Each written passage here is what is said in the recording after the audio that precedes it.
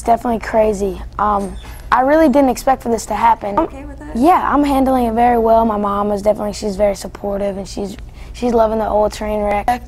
I, I really didn't expect crazy. Wow, like I don't know, it's crazy. Um, I didn't expect. I, I really didn't expect for it to just take off. Thank you guys so much for all your support. Love you.